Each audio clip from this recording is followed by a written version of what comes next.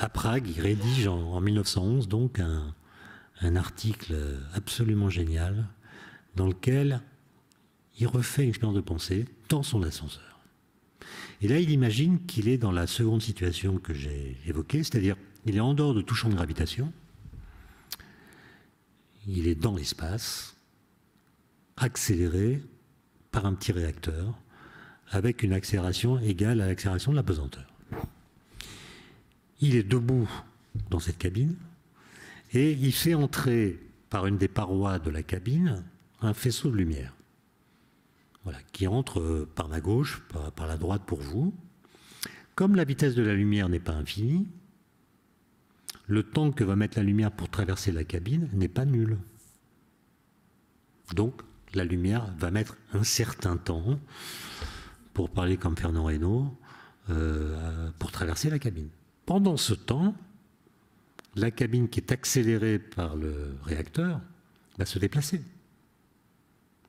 Donc, le point d'impact de, la lumière à droite, sur la paroi de droite de l'ascenseur, ne sera pas en vis-à-vis du point d'entrée. Le point d'impact à droite sera plus bas pour l'observateur qui est dans la cabine que le point d'entrée. Qu'est-ce que verra en fait cet observateur? Il verra que la lumière a une trajectoire dans l'ascenseur qui est courbée. Elle est courbée évidemment par l'accélération de la cabine. Là-dessus, euh, là encore, il y a... Mais souvenez-vous du principe d'équivalence. C'est tout simple. Le principe d'équivalence dit que il n'existe aucune expérience que le physicien qui est dans la cabine accélérée puisse faire, qui lui montrerait qu'il est dans cette cabine ou bien dans une cabine qui est posée immobile sur le sol terrestre.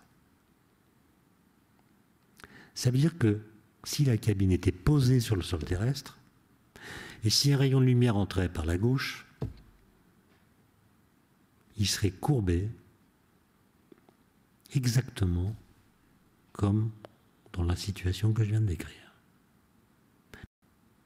Mais courbé par quoi?